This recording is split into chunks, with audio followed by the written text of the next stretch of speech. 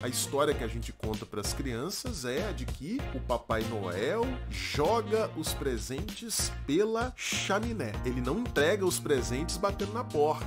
O Papai Noel joga os presentes lá na chaminé. E aí o Sterba vai dizer: chaminé é um símbolo muito típico, muito utilizado nos sonhos tanto de crianças quanto de adultos. Ele está se referindo especificamente ao hemisfério norte, que é onde as chaminés são mais abundantes, né? É um elemento, é um símbolo muito típico da vagina, do canal vaginal. Olha que interessante. O Papai Noel joga os presentes pelo canal vaginal.